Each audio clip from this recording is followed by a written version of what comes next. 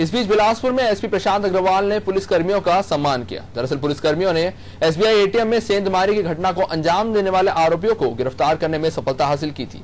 इसके चलते एसपी ने पुलिस कर्मियों को प्रशस्ति पत्र देकर सम्मानित किया है। जो आगरा के रहने वाले हैं, एसबीआई एटीएम को तोड़ने का प्रयास किए और काफ़ी हद तक सफल हो गए थे। पुलिस कुछ समय देर पहुँचती तो हो सकता था कि पूरे पैसा लेकर चोर फरार हो जाते।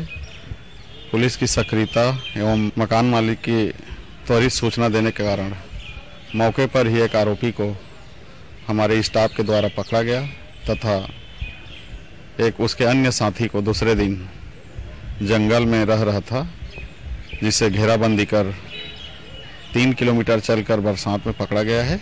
इस कार्य के लिए हमारे पुलिस अधीक्षक महोदय ने सूचना देने वाले पत्रकार साथियों, पुलिस के कर्मचारियों को आज प्रशस्ति पत्र देकर सम्मानित किए हैं।